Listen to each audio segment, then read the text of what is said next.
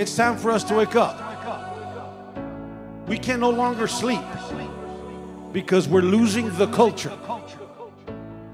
This is a different kind of conference. If you came to an event wanting to see like, you know, a popular preacher or wanting to see a, a high-level politician, this really isn't the right place because there's only one person who's going to be king, and that is King Jesus.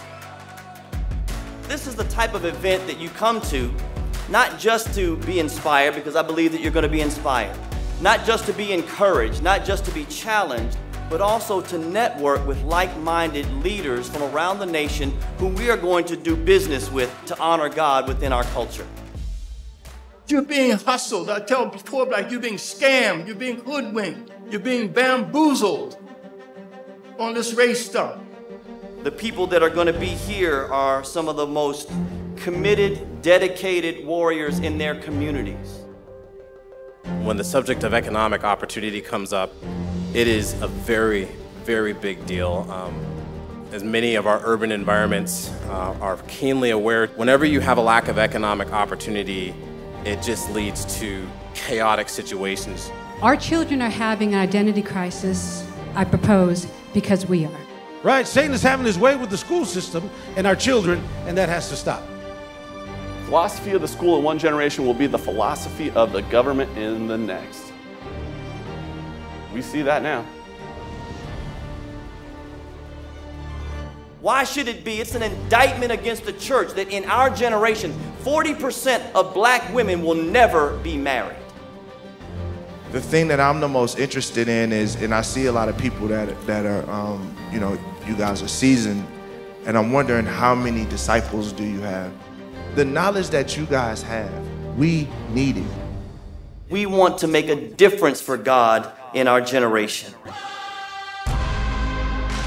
We believe that God is calling his people to have courage. People are motivated to change when you show them victories that are possible, not injuries to be avoided. I don't know about you, but when I look what Jesus' commandment to us was, was to make disciples of nations, not to fill up chairs in your church.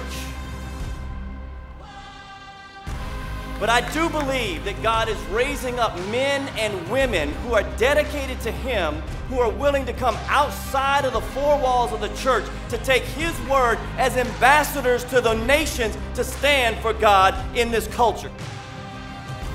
And so the way that that's done is through developing a network in these areas where there's a support system, there's the legal component, there's the messaging component, and there is the relational component so that people have your back and you don't have to, to wait for that note on your door and wonder what you're going to do.